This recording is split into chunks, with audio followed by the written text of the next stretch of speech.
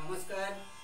ভারতের স্বাধীনতা দিবস উপলক্ষে মেলোডিয়াস মাউন্ট অর্গানের পক্ষ থেকে সমবেতভাবে মাউন্ট অর্গানে একটি দেশাত্মবোধক গানের সুর বাজিয়ে আমরা সমস্ত স্বাধীনতা সংগ্রামী তথা বীর শহীদদের শ্রদ্ধা জ্ঞাপন করার চেষ্টা করছি।